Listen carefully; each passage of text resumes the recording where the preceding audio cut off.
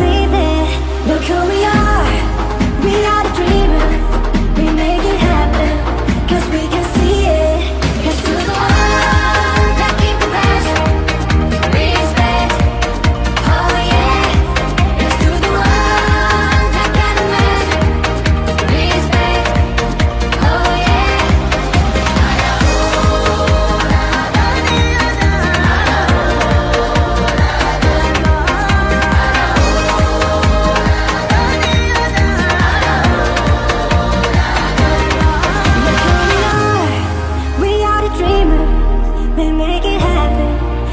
believe it. Look who we are.